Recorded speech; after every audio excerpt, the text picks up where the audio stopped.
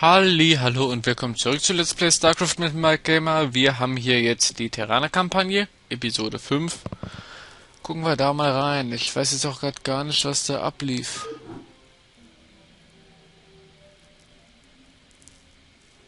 Terraner-Kampagne, die eiserne Faust. Ich lese es jetzt nicht vor, weil ich weiß, dass ich sowieso nicht schnell genug lesen könnte. Erstschlag. Das VED-Schlachtschiff äh, Alexander im hohen Orbit um den Planeten Praxis und keine Ahnung. Adjutant online. Guten Morgen, Captain. Unsere lange Reise von der Erde ist vorüber. Wir befinden uns in einer stationären Position an der Grenze des von der Liga beanspruchten Raums.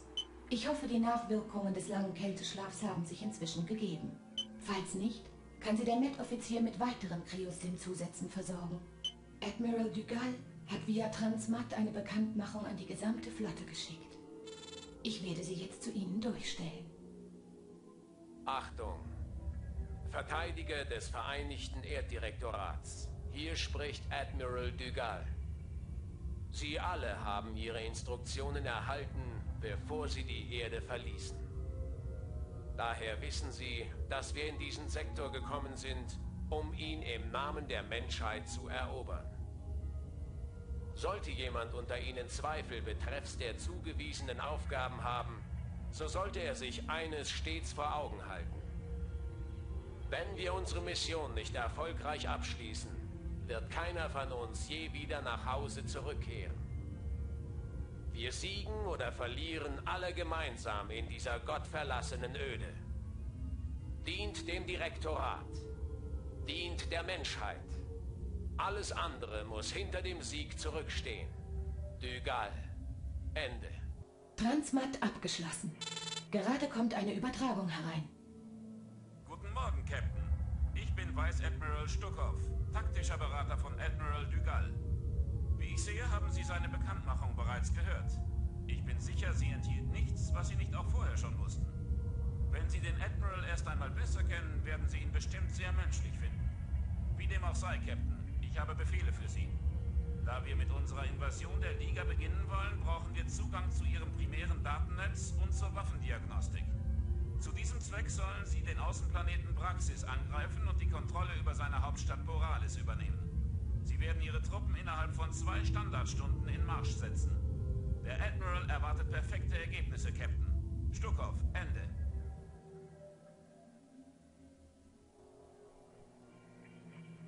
Ja. Ja, okay. Dann wollen wir mal loslegen. Wir haben WBFs. Wir bauen mehr WBFs. Oh.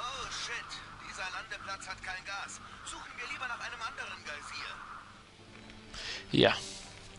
Da ich die Mission äh, schon gespielt hatte, ich fall mir nicht ins Wort.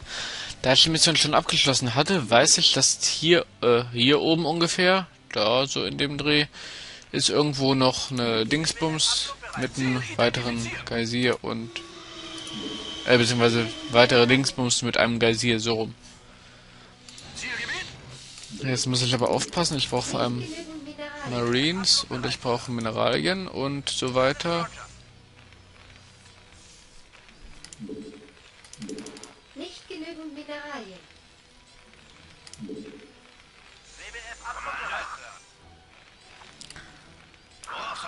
Ich werde jetzt einfach mal munter losstürmen, weil ich nicht mehr genau weiß, was da oben ist. Jetzt geht's rund. Ist da überhaupt was? Ja. Jetzt geht's rund. Los geht's. Da sind Gegner. Das heißt, auch wenn ich die nicht aufsiedeln kann, ich werde sie erstmal hier hinstellen, die Panzer. Denn auch im nicht aufgesiedelten Modus können sie mir Rückendeckung geben. Zielgebiet? Ist mir ein Vergnügen, Sir. So, du stellst dich dann gleich da vorne hin. Wirst du da wohl hoch. Danke.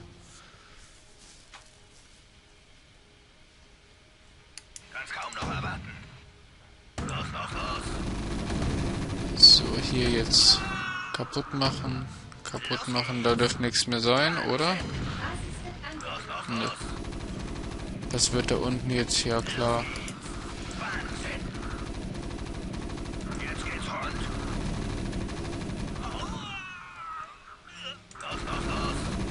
Ich müsste mal einen Bunker bauen.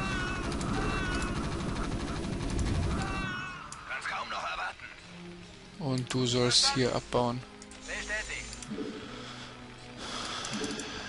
So, dann kommst du mal mit da hoch. Du machst den kaputt.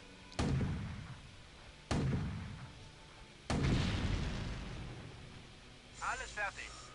Commander. Befehle, Captain? Gut. Ihr geht in den Bunker.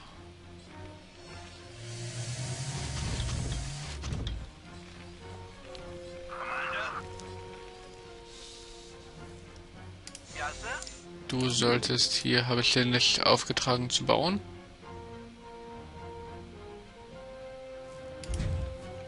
Jetzt baust du jedenfalls. Identifizieren. Aber hier haben wir auch kein Gas.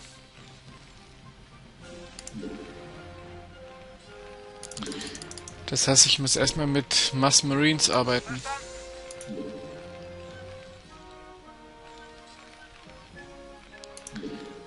Zweite Kaserne. Commander.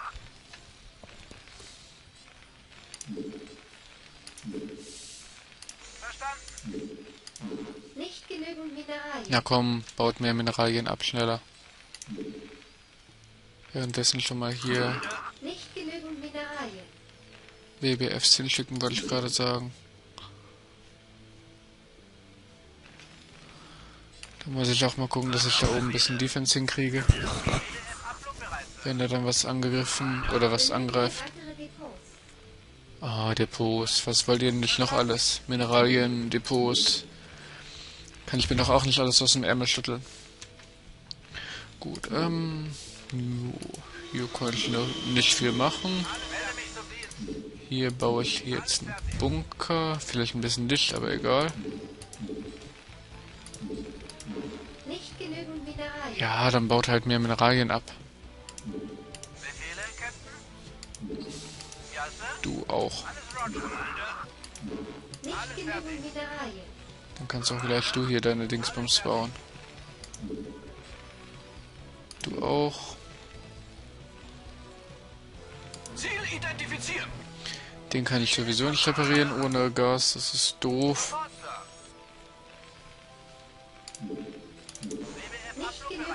Zack. Ein WBF bauen wir hier noch. Ein WBF bauen wir da noch. So, du gehst gleich dahin.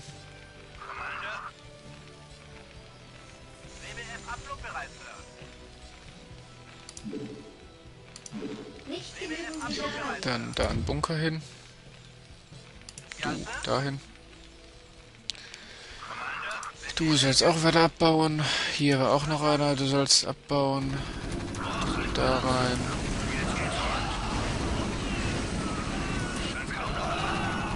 Scheiße, das Ding. Das los da. Ach, brennt noch nicht so akut. Aber ich sollte da trotzdem was zum Reparieren bereithalten. Da soll noch ein Vierter rein. Dann bleibst du mal da. So, hier jetzt weiterbauen. Da vier reinschicken. Dann noch einen Bunker bauen. Da oben hin. Ja gut, da kommen sie noch vorbei. Wenn der da mal vorbeikommen würde.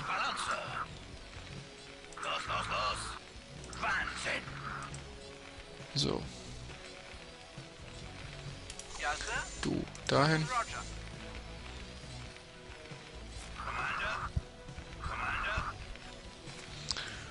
Und dann haben wir doch auch erstmal ein bisschen was. Dann brauche ich noch ein Depot. Ja, Mineralien. Dann warten wir die ab. Dann habe ich hier auch genug Mineralien.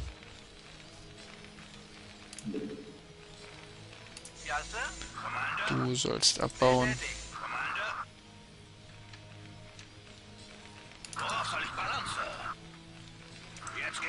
Kommt ihr mal mit?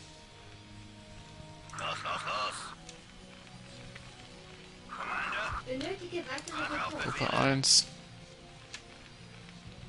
So, das Depot ist schon fertig. Dann gleich das nächste bauen. Und einfach, weil wir es können, bauen wir hier da noch eins hin.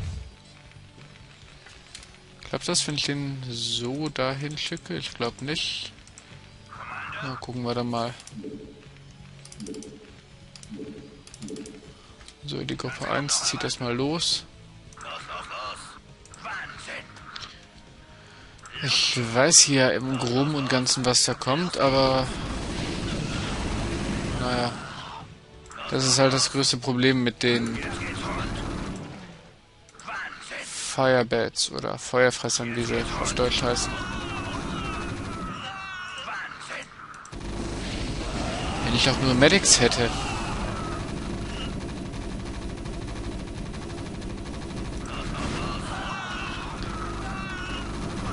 Jetzt ist meine Truppe fast kaputt. Hier ist noch ein. Wahnsinn. Der kann mich mal, aber kreuzweise. So, hier ist auch fleißig nachbauen.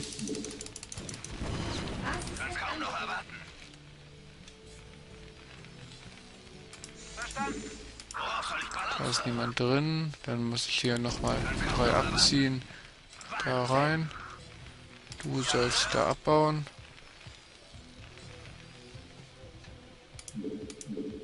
Hier ist ganz leicht kaputt. Ich könnte hier mal einen Maschinendock bauen. Du kommst hier nicht mehr raus. Doch, du kommst hier raus. Dann kannst du mir da oben nochmal? Depot bauen. Ihr seid jetzt Gruppe 1. Los, los, los. Ah, das Maschinendock, das war sinnfrei. Denn für die Upgrades brauche ich ja auch erstmal mein Gas.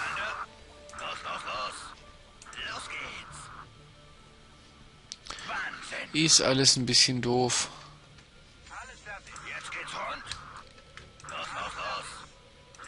Der hat hier seine Truppen neu formiert, beziehungsweise sogar aufgestockt.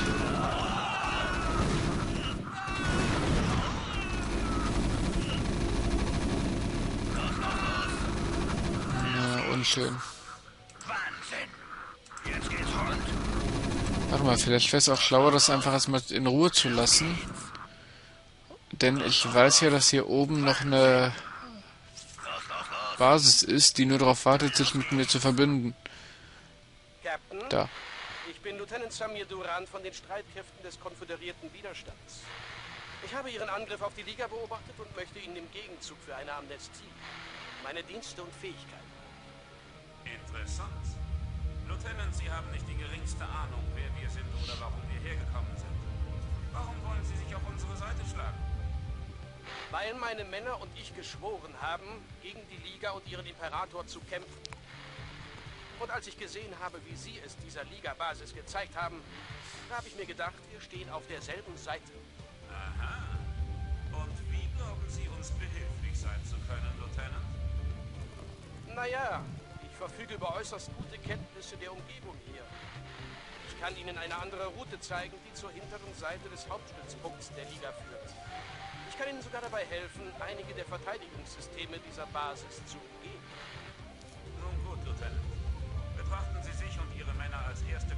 Koloniestreitkräfte des Vereinigten Erddirektorats. Captain, sorgen Sie dafür, dass der Lieutenant unsere volle Unterstützung erhält. Wir werden sehen, ob er Mühe wert ist. Das ist toll.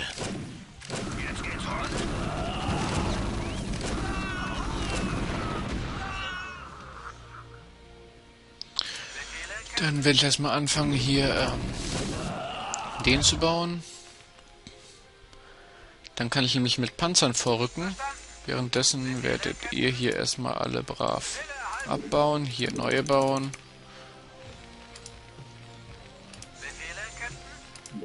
Dann... Da komme ich wahrscheinlich nicht mehr hin. Doch, da komme ich hin. So, alles fertig. Ist das der? Ja. Rein da. Du auch.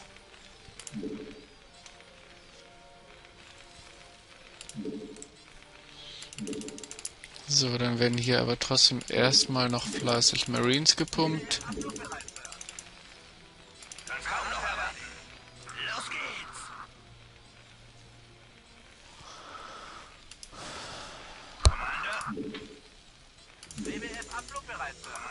Kannst denn du? Du kannst dich tarnen. Bist du ein Geist? Scheinbar. Bringt mir aber wahrscheinlich auch nicht viel, da da überall wohl Raketentürme stehen werden. Hier nicht. Da ein paar.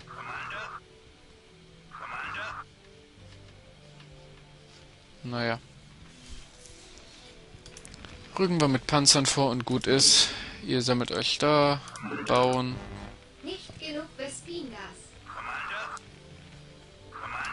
Habe ich hier auch eine? Nein.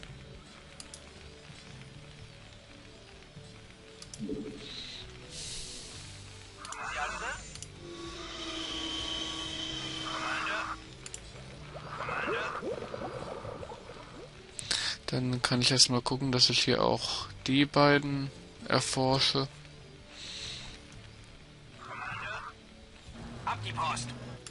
Erstmal nachbauen.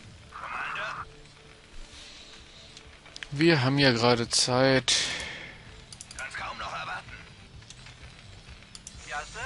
So, kommst du da? Jetzt kommst du da aber nicht mehr hin.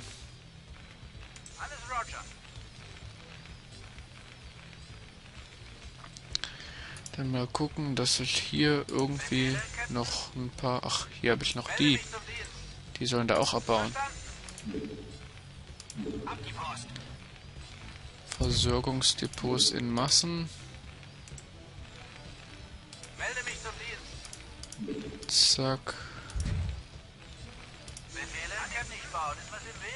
Verstanden. Ja, dann geht er aus dem Weg. Na, dann halt nicht. So, ups.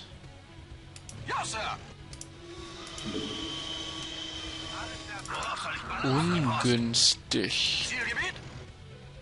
Erstmal zwei Meter zurück.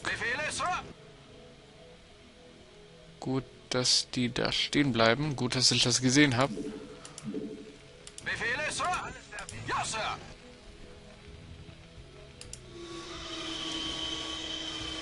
Dann muss ich erstmal gucken, das bauen.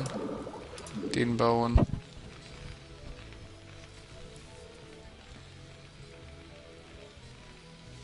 Ab die Post. Na, mach hin. So. Und dann wird das doch langsam. Hier ist nochmal massig die Dinger nachpumpen. Jetzt kommen sie.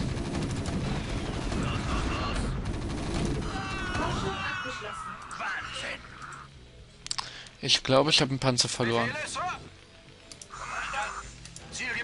Der ist voll.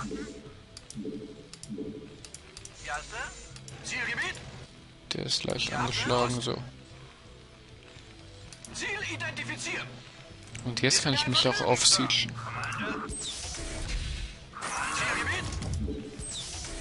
So, du wieder zurück. Wird ausgeführt. Nachpumpen. Nachpumpen. Der ist noch ein Upgrade.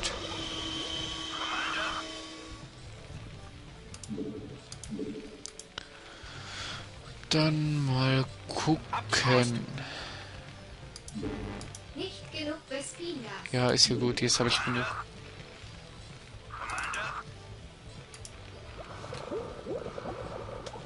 Ziel identifiziert.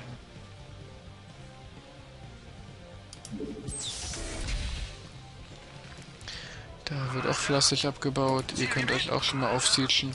Ziel identifiziert. Gruppe 1 da unten hin.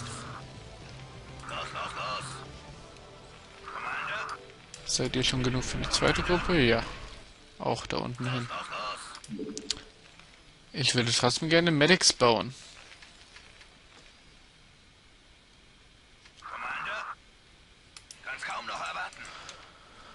So, ähm, bauen.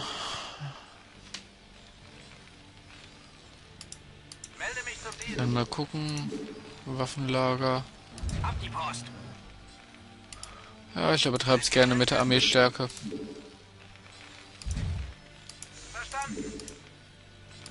So, ihr auch noch bauen. Ein paar, ja, hier so, ein paar Depots. Damit ich meine Armee gleich noch vergrößern kann. Ihr baut hier auch noch mal Marines. Hab viel zu viele Mineralien. Marines. Marines. Upgrade fertig. Dann macht er das. Du machst den.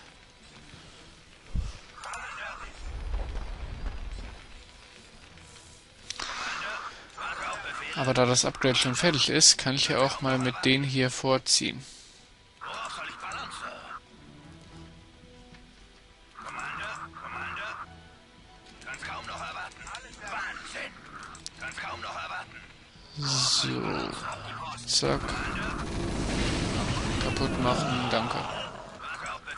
Machen.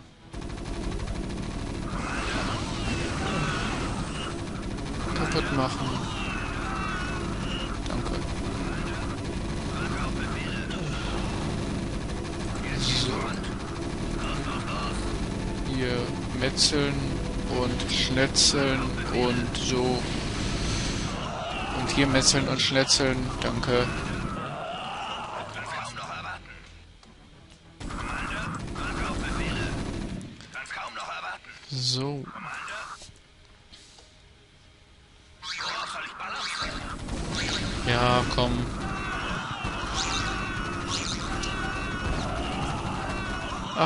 Ja toll. Jetzt habe ich mich hier vom Game ablenken lassen.